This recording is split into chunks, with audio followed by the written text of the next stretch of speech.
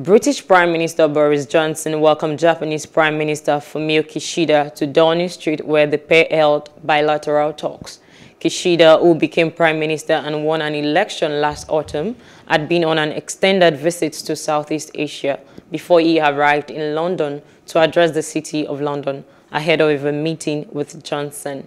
The Japanese premier said that his new economic policy was an upgraded form of capitalism in which public and private sectors worked together.